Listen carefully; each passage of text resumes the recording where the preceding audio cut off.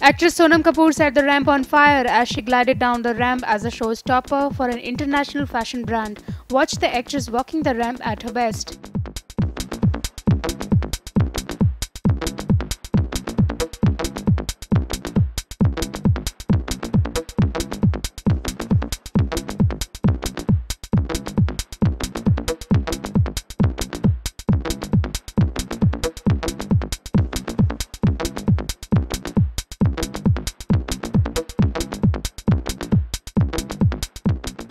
IANS report.